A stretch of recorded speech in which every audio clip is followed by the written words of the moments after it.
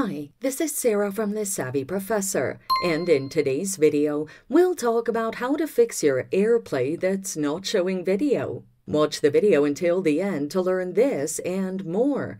Here are reasons why your AirPlay isn't showing video. Problems with internet connection, incorrect AirPlay settings, or outdated firmware. Here's how to fix these issues. Check your internet connection. Use your browser to search for an online speed test tool and run a speed test. If the speeds are low, you have a slow internet connection. Restart your router and move closer to it. Limit the number of devices using the network, and if the problem persists, consider upgrading your internet plan. Review your AirPlay settings.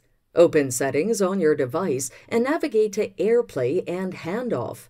Enable AirPlay. Ensure that you've selected the right device for AirPlay video and check if the problem is solved.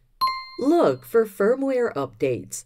Go to your device settings, select About or System. Next, select Software Update. If there's an update, download and install and check if the issue is solved. If the issue continues, contact AirCare at 800 APL Care or 800 275 2273 and schedule an appointment with a professional.